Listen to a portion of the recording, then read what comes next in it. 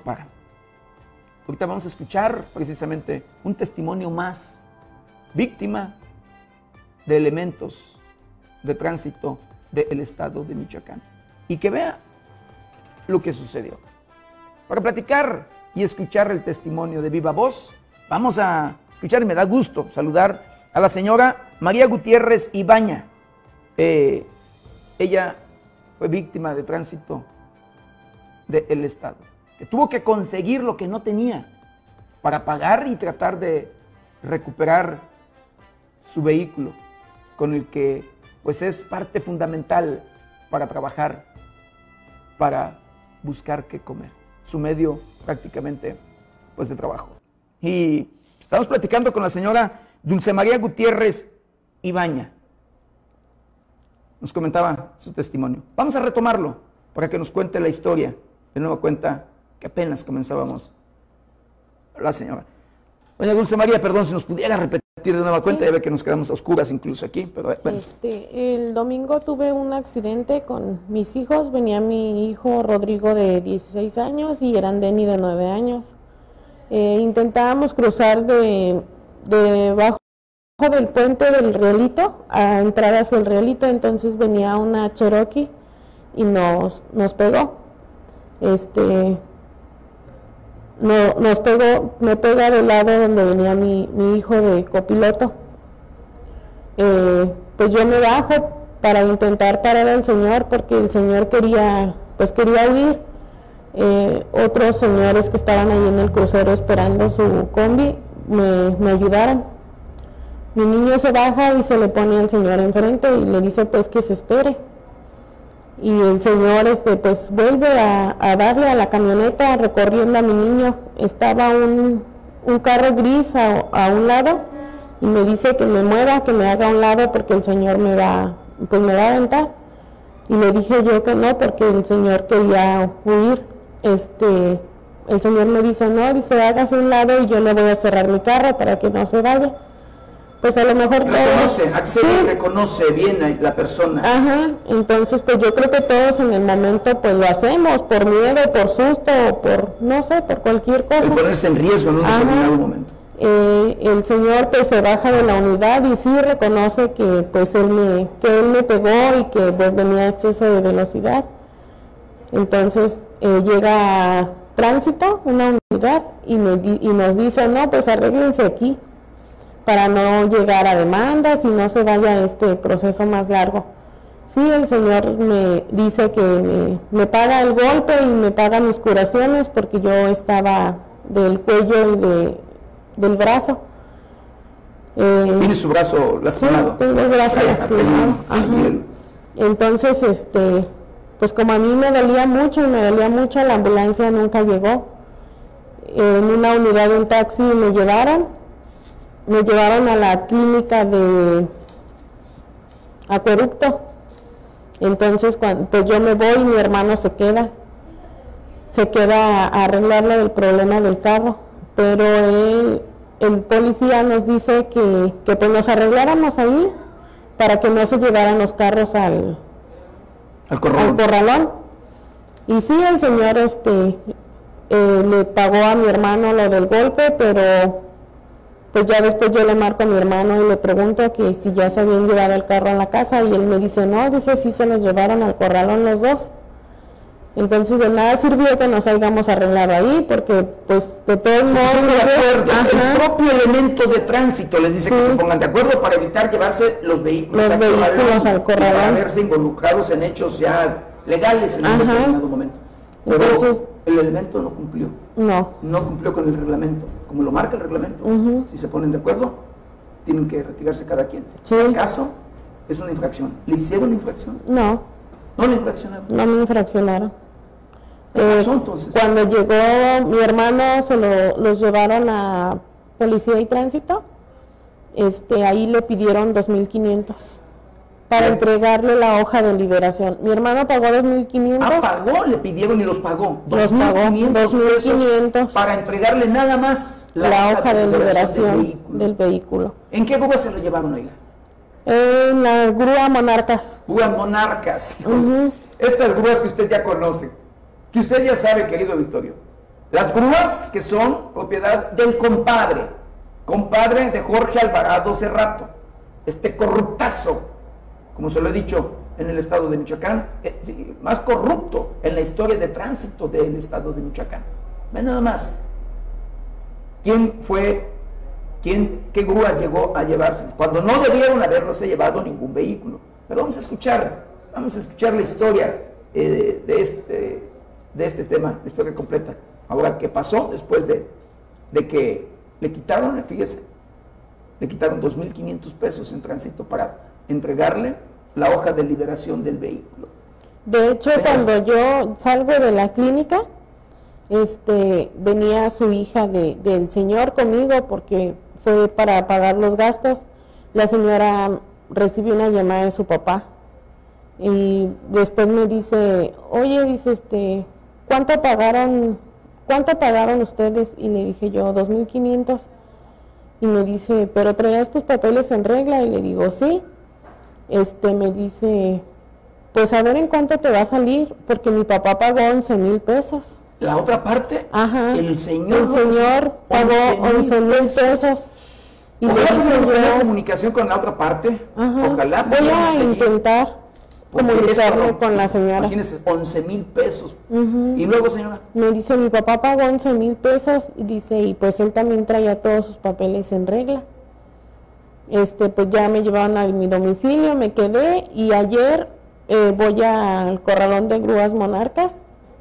Pensé que con la hoja de liberación, como mi hermano ya había pagado 2.500, con eso yo iba a poder ya recoger mi carro y me dicen que no, que tengo que pagar 3.250 pesos más por el arrastre del, vehículo, por la grúa.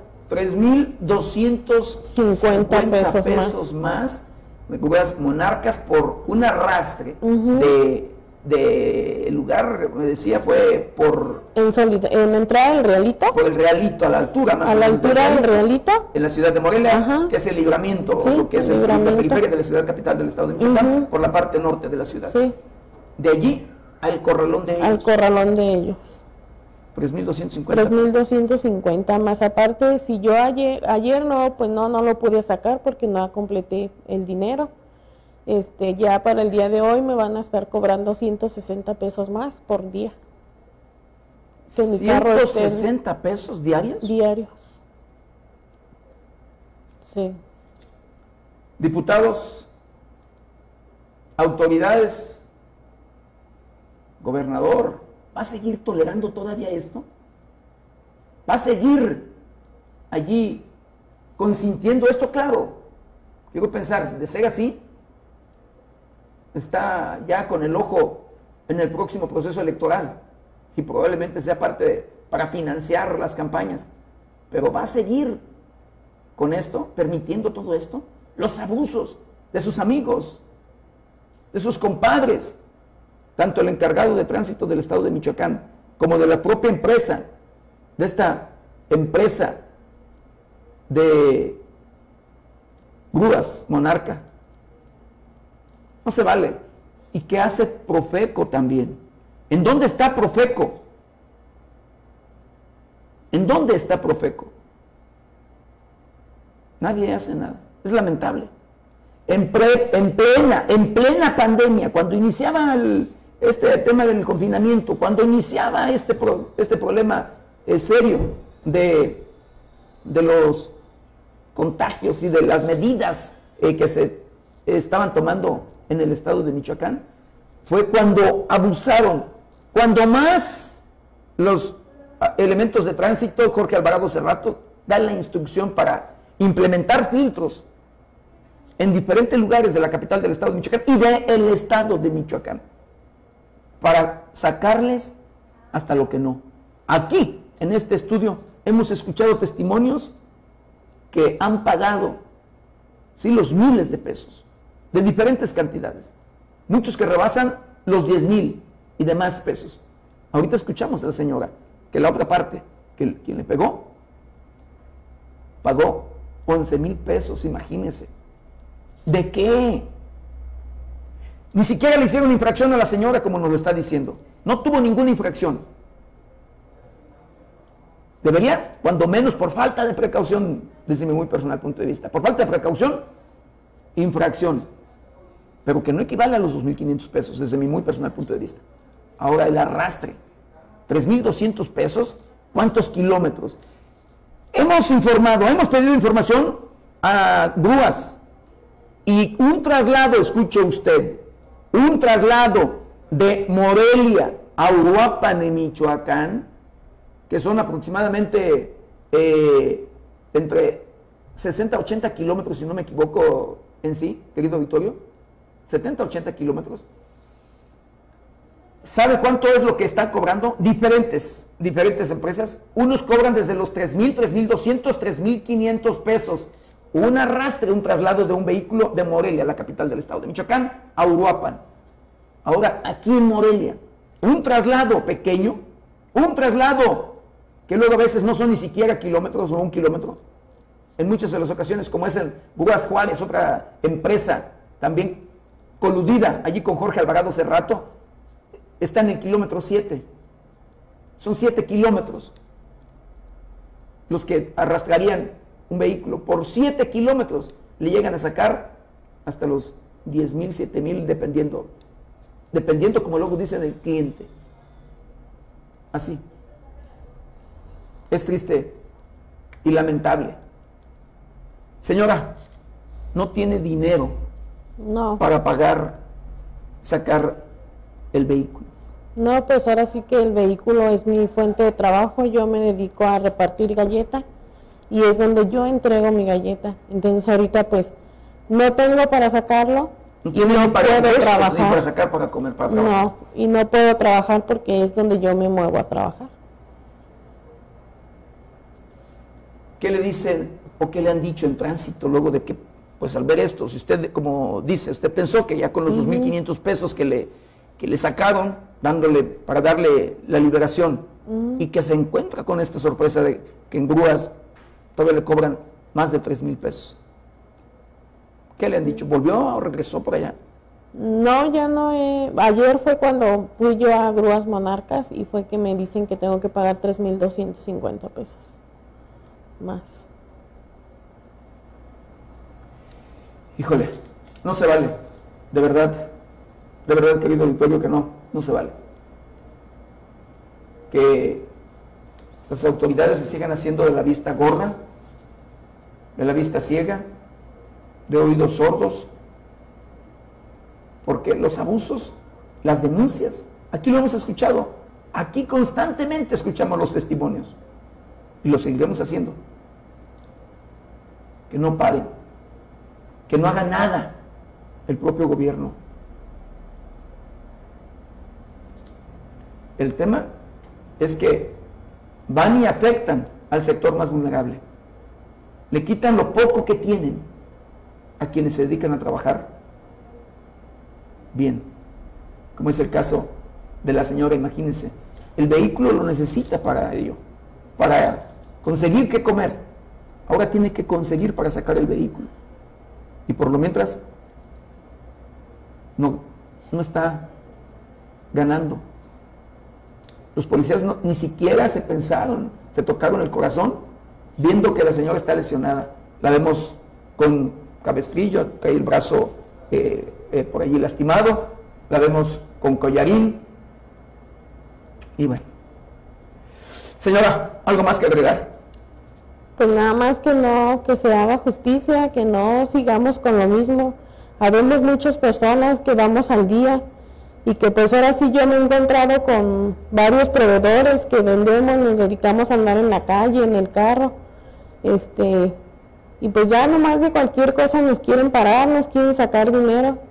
A mí una ocasión me pararon eh, porque traigo cajas donde meto yo las cajitas de galleta para que no se maltraten. Igual, este, que no podía traer las cajas porque daba a pensar mal. Le dije, pues revísalas. Porque daba a pensar mal. Sí, porque daba a pensar mal, que podía traer yo otra cosa. Le dije, pues revísalas. Le abrí la cajuela, le abrí todas las cajas. A ver, repítame eso, señora. Que no podía traer las cajas porque daba a pensar porque daba a pensar mal. mal. Ujú. ¿Ah, sí? Eh, sí, en el Chevy atrás estaban seis cajas. ¿Y le, Ah, y le quitaron, le sacaron dinero en esa ocasión? mm, Sí, le dio, le dio mi, como mi mamá trabaja conmigo, mi mamá le dio 100 pesos, apenas empezábamos a, a vender. Y este, y me dice, acomoda las cajitas de galleta y le digo 38 pesos.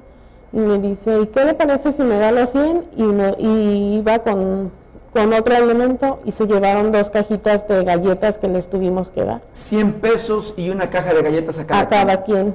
Dos elementos, motociclistas. Sí, motociclistas. Motociclistas. Motociclistas. Ah, vean nada más. Auditorio, nada más cheque si no es para dar coraje, para dar rabia. Escuchó el argumento. Escuchó este argumento. No puede traer cajas porque dan que pensar. O sea, puede traer otra cosa que sospecha allí. Señora, le agradezco, le agradezco de verdad. Ojalá las autoridades hagan justicia, las autoridades ya se pongan a trabajar y hacer lo suyo. No se vale, no se vale de verdad. Escuchen nada más. eh. Usted escuchó bien este testimonio. Usted escuchó a la señora Dulce María Gutiérrez Ibaña, eh, víctima de estos elementos de tránsito, que día a día, día a día, extorsionan a este sector, el más vulnerable, a los que viven al día. No se vale. Muchísimas, pero muchísimas gracias, señora, por haber aceptado la invitación Sí. y de verdad por tener el valor civil para denunciar. No debemos callar, no debemos de callar. Injusticias hay que denunciarlas. Muchísimas, Gracias. muchísimas gracias. Pues ella fue la señora Dulce María Gutiérrez Ibaña, víctima, víctima de extorsión de elementos de tránsito del Estado. Híjole, de verdad créeme que mire, me quedo, me quedo con el coraje, eh, con la rabia de, de verdad de esto, de este tema. Vemos a la señora, una señora humilde, trabajadora, hacen galletitas para ganarse la vida. Y que le han salido, ahorita ya les está en el problema con, e- con ese tema, no tiene para pagar, para sacar su vehículo. Eh, pero en, en el hecho pasado, en el anterior que nos comentaba, que le, fíjese, que no puede transportar cajas de galleta, su producto para vender, porque pues es cajas sospechosas, son, lleva cajas ahí sospechosas que puede llevar otra cosa. Y le sacaron 100 pesos y una cajita de galletas cada uno de ellos.